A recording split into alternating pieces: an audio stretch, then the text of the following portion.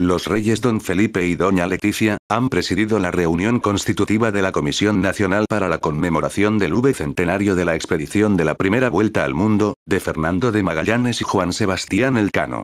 Para esta ocasión, la reina se ha decantado por una falda Evase con diseño de pata de gallo en blanco y negro con detalles rojos y cinturón negro, de la firma Hugo Boss y está disponible en la web de la firma alemana por 239 euros. Doña Leticia ha combinado su recién estrenada adquisición con un conjunto Dwinset en color rojo a juego con el estampado de la falda. Como complementos, la esposa de Felipe VI se ha puesto unas medias cristal negras y unos salones, también de Hugo Boss, con efecto piel de cocodrilo.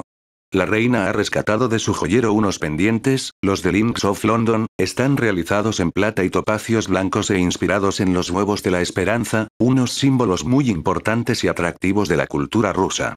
Cuestan 328 euros.